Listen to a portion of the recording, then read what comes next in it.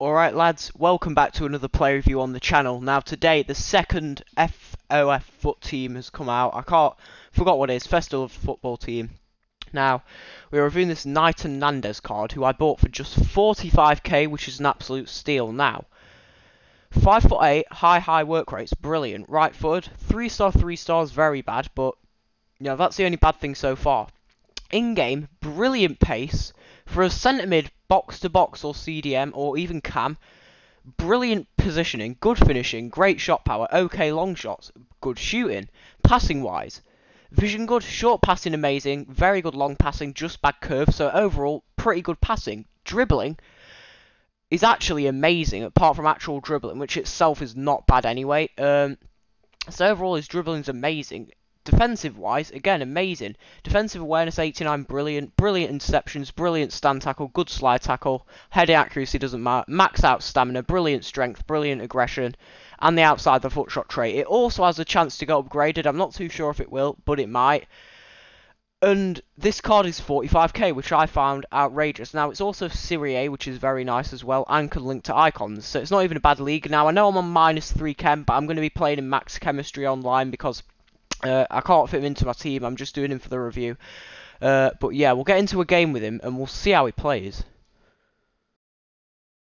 First touch on the ball for Nandez then.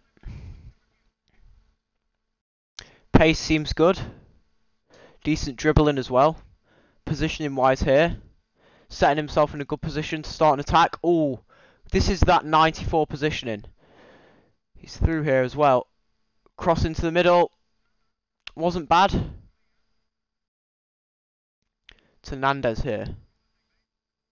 Wins a free kick and a dangerous. Alright, Nandez is going to go for this free kick here. Puts it in towards the top corner. Will it do anything? Ooh, not a bad free kick to be fair. Starting decent. Nandez. Not a good ball out wide there in that uh, situation, to be honest. There's through here. Shoots! Oh, it's a good save.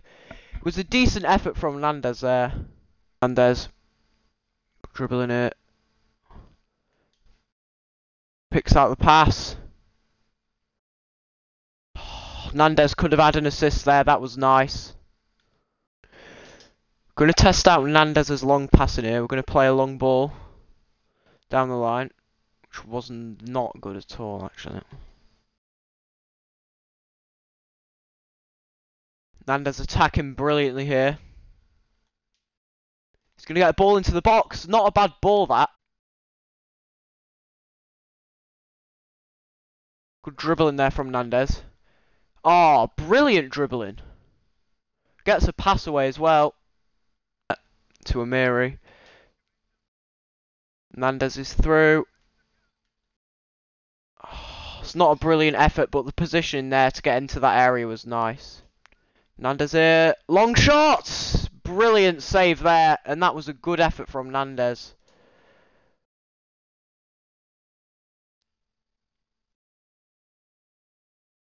Nandez with another long shot! Again, it is fractionally wide there. His long shots didn't seem to be too bad there in the two corner chances.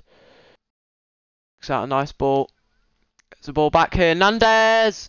And that is a brilliant goal. To be honest, his defending's meant to be really good. He's not really made any tackles, but attacking wise, he's contributed brilliantly. I might use him as a cam, to be honest, because in that position, he seems to play really well.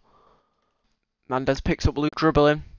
His dribbling seems to be his best attribute so far, in my opinion. Nandez. Ball into Gundogan.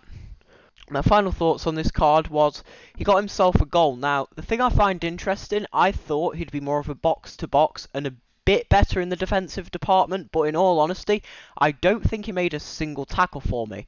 Now, I'm not saying that's a bad thing because attacking wise, he was brilliant. His passing on the ball, outstanding.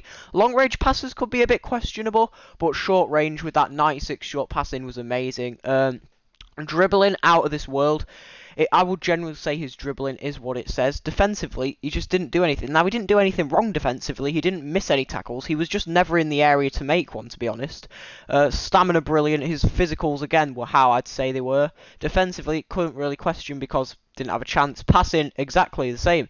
Long passing wasn't amazing but it wasn't terrible. Like I said, long passing 86, not terrible, not amazing. Brilliant short passing. But shooting wise was the thing that surprised me in a good way. Them long shots were actually quite deadly, and his shooting overall was good, and his pace was again amazing. So overall, I'd actually play this card as a cam. If, in my opinion, I'd maybe go with an engine, hunter, deadeye, maybe like a catalyst, maybe a shadow if you do want to play him defensively. But yeah, overall, lads, this was a decent card, and I'll give it a solid nine out of ten.